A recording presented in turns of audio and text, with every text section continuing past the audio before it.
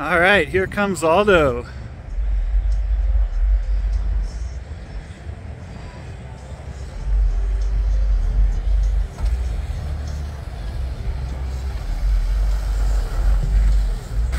Apparently that's how you do it.